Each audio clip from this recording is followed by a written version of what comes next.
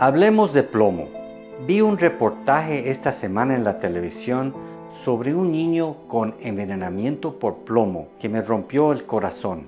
Vivía en un apartamento que se veía bien por vista, pero mirándolo más cercano y inspeccionándolo se veía un problema muy grande de pedazos de pintura de plomo por todos lados, ventanas, pasillos, escaleras.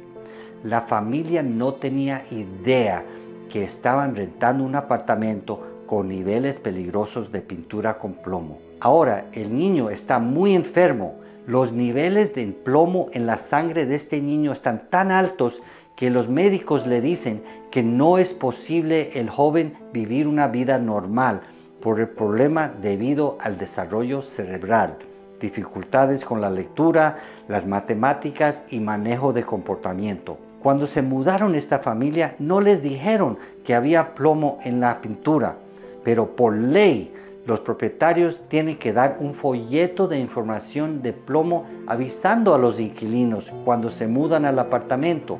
Son papeles educativos en caso que el apartamento tenga plomo. Si usted sospecha que su hijo ha estado expuesto a envenenamiento por plomo en su apartamento, primero hable con su médico.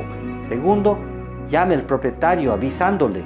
Tercero, llame al departamento de salubridad diciendo mande un inspector. Y también llámenos a nosotros para saber sus derechos legales en California. Aquí estamos para ayudarles.